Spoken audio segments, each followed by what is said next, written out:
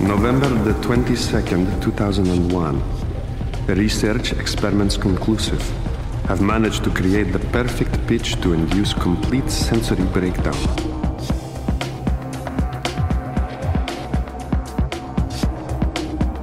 I'd simply like to wish you a safe and happy stay in our uh, humble village.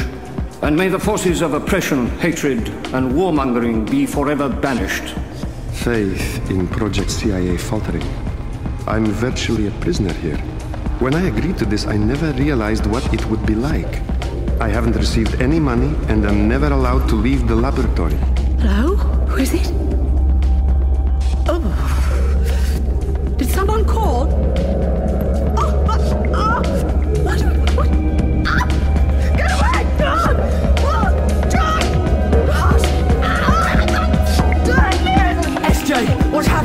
Sarah, can you hear me? Are you all right? The room went ice cold. and There was this terrible noise. What are you saying? I think I've just seen a ghost.